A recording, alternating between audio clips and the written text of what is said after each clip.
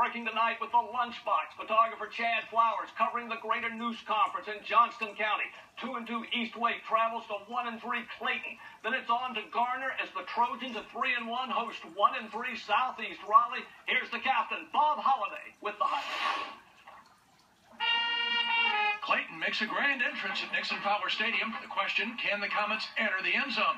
Clayton fumbles away one chance, but strikes gold here on Landen Leiser's pretty pass to Devin Carter. First quarter, East Wake starts to roll. Mikhail Engels goes in from the four.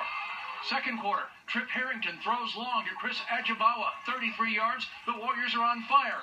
East Wake also gets a boost from its defense as Lacey Jones nails Brock Swackhammer in the end zone. East Wake walks away 44-14. At guard